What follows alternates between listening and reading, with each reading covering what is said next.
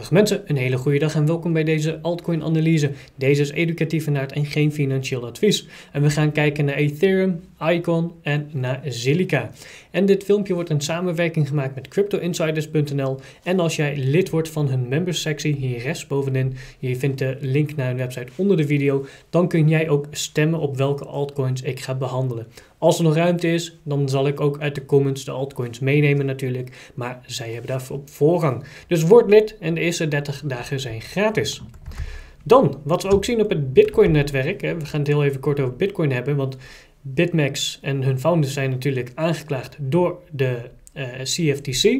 En we zien dus ook dat daardoor de, de, transactiekosten flink stijgen. Is dat door BitMEX, omdat mensen hun bitcoins en andere cryptocurrencies, en in dit geval dus bitcoin, van, het, uh, van de exchange afhalen? Of is dat niet zo? En ik ben eigenlijk ook wel heel nieuwsgierig. Hebben jullie op BitMEX zitten traden en zijn jullie er nu ook van afgestapt? Of denken jullie dat dit allemaal wel goed zal komen voor BitMEX? Laat het weten onder in de comments in ieder geval. En voordat we naar de altcoins gaan, kijk ik heel even naar Bitcoin, want er is geen altcoin zonder Bitcoin natuurlijk.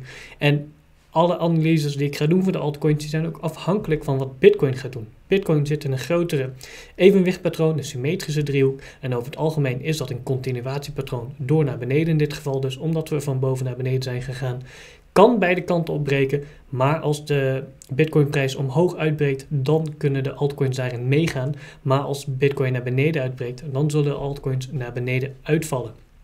Goed, we gaan het in ieder geval bekijken op de grafieken. Wil je ook leren traden? Weet hoe je zo'n symmetrische driehoek moet tekenen, hoe je een evenwichtpatroon moet herkennen. Doe dan zeker even de kennismakingscursus. En als je meer wil leren over traden en ook winst wil maken, je verliezen beperken, dan moet je zeker ook de volledige handelscursus doen. Je vindt hiervan ook de link onder in de video. En als je de handelscursus hebt gedaan, dan kom je ook in mijn Discord community terecht met 100 man plus op dit moment. 100 ogen of 200 ogen minimaal op de grafieken om meer trades te kunnen plaatsen, maar ook het interessante nieuws in de gaten te houden. En ook daar geef ik updates over de dag heen van mijn trades, bitcoin, altcoins enzovoorts. Dan gaan we beginnen met Ethereum, de grootste altcoin natuurlijk. En wat we zagen was een enorme uh, complexe head and shoulders die naar beneden is uitgebroken. Uh, de bulls hebben support gevonden. En daarna was het eigenlijk hè, in het sterkste geval voor de bulls zouden we boven deze lijn blijven. Maar je ziet ook aan de WIX aan de bovenkant dat die koers eigenlijk de hele tijd wordt afgewezen. En dat we onder die lijn weer aan het traden zijn. En zolang we onder deze lijn zijn, moeten we eigenlijk bearish zijn. We zien dat we hier wel een opwaarts kanaal kunnen tekenen. En als de koers daar ook binnen kan blijven en ook weer boven die lijn kan komen, dan zou dat positief zijn. En dan kunnen we weer wat meer groen verwachten. Maar zoals je ook hier ziet, we zitten onder die 12 EMA, die blauwe lijn. Wat betekent dat de bears op dit moment de overhand hebben. En dat hebben ze al een tijdje. En het lijkt erop dat dat voorlopig nog niet beter gaat worden. Wordt deze uptrend gebroken, dan gaan we weer terug naar die 100 moving average op 31. Maar ik denk dat we dan ook uh, met bitcoin zijn uitgebroken naar beneden. En dat we dan verder door zullen gaan naar beneden. En het volgende target waar ik naar kijk, ook op de wekelijkse... Hè, want als je op de wekelijkse kijkt, dan zitten we ook net op support. dus we zitten op die 12 hiermee. We zijn, wat de koersen vaak doen, een bullish momentum is die 12 hiermee opzoeken, daar vanaf bounce en doorgaan naar boven een high-high te maken. Dus eigenlijk als we boven de 0,037 kunnen komen, dan kan het bearish scenario wat mij betreft geïnvalideerd worden. Um, maar zolang we hier boven blijven bewegen, is dat dus positief. Maar je ziet het al, uh, we blijven erboven, we sluiten er niet onder in deze candlesticks. Maar als dit support wordt verloren op die 12 hiermee, wat op de 0,032 zit, dan kunnen we verwachten dat we op de wekelijkse verder door zullen gaan naar beneden. En zo op het bloot de 26 IME vaak het volgende. En die zit rond de 30. En we zien ook dat dat samenvalt met de Golden Pocket regio op de wekelijkse in ieder geval. Dus dat is dan de main target, de 0,0 de 0,03 en potentieel als het nog slechter gaat, het is afhankelijk van Bitcoin, gaat Bitcoin naar 9600, gaat Bitcoin naar 8800. Hoe dieper we zakken, uh, hoe verder we naar de om de supporten daaronder kijken natuurlijk. En we zien dus dat op 28 en op de 25, 26 zit ook nog support. Um, dus dat voor Ethereum versus Bitcoin in ieder geval. En wat betekent dat voor het paar versus de dollar.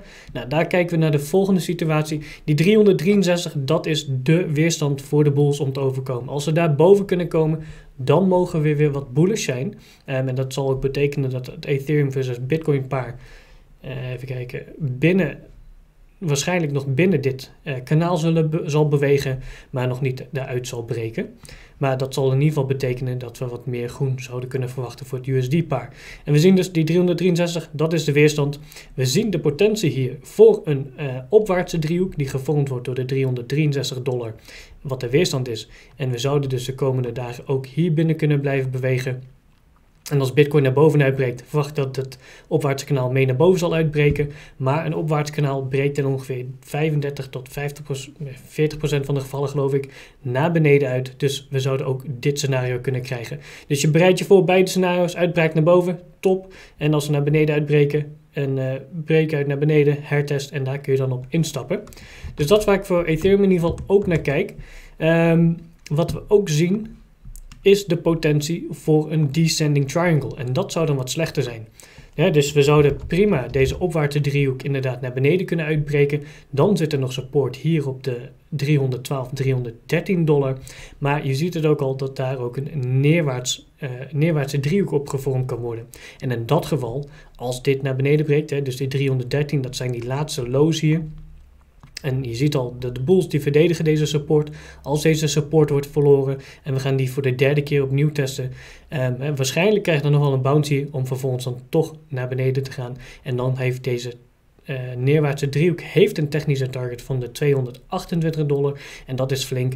Um, dat is niet exact de target waar ik dan verwacht dat we naartoe zullen komen. Want we zitten hier ook op de Golden Pocket regio rond de 296 tot 286 dollar. Wat ook samenvloeiing heeft met eerdere supportpunten op de 290 tot 277. Dus dit is dan de regio waar ik naar kijk tussen de 200 uh, even kijken, 289 en 277 als eerste support, sterk supportniveau. En de 200 daily moving average, die dan ook opnieuw worden getest. Want je ziet hier eigenlijk ook al dat de Ethereum koers, uh, die is hier van de 200 moving average weggegaan. En die wil nu ook langzaam terugkomen. Want je ziet vaak dat koersen die spelen met die moving averages en willen die eigenlijk altijd opzoeken op een gegeven moment. En in dit geval zou dat dus ook goed kunnen. Dus dat voor Ethereum. Um, dus in het beste geval kunnen we de komende dagen hier een opwaartse driehoek verwachten, die je hier ziet. En naar boven uitbreken als Bitcoin dit doet. Als Bitcoin naar beneden uitbreekt, zal deze naar beneden uitbreken. En dan zit de eerstvolgende target, grotere target, op 313 dollar in ieder geval. En als dat breekt, dan kunnen we verder doorkijken naar beneden. Dus dat voor Ethereum. Even kijken. Het ziet er allemaal nog niet al te bullish uit, moet ik ook zeggen. Dan gaan we even kijken naar Icon. Even kijken, we beginnen even op de maandelijkse grafiek.